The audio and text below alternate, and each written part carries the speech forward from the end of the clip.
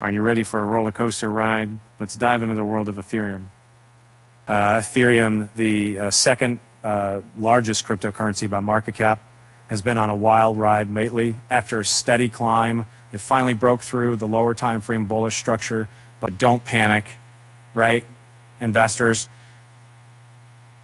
Let's take a closer look.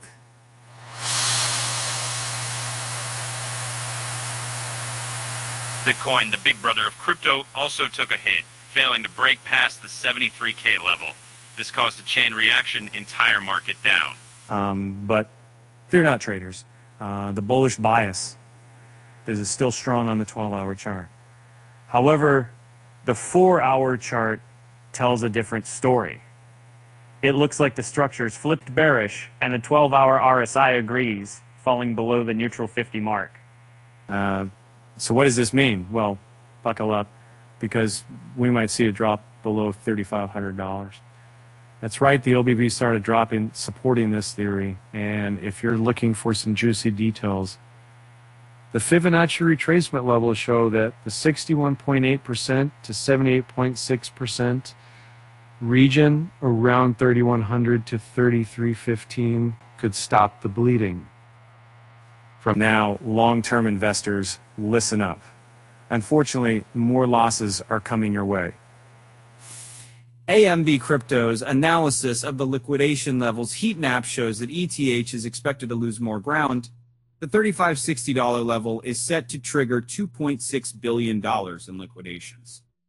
Uh, here comes the interesting part. These massive liquidation levels are clustered between $3,500 and $3,560, which marks a significant support zone.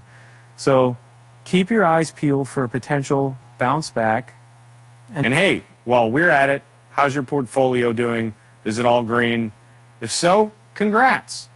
If not, well, there's always room for improvement. You can check the Ethereum Profit Calculator to help you stay on track.